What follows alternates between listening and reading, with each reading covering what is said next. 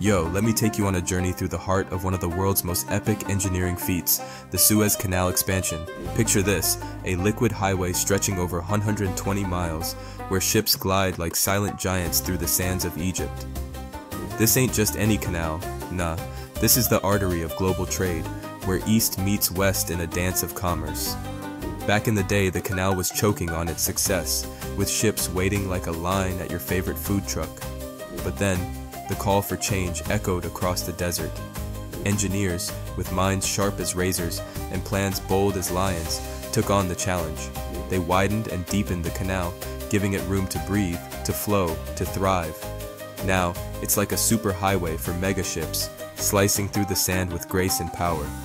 This expansion, it's not just moving goods, it's moving dreams, economies, and possibilities. The new Suez is a testament to human ingenuity, a bridge between continents, a gateway to the future.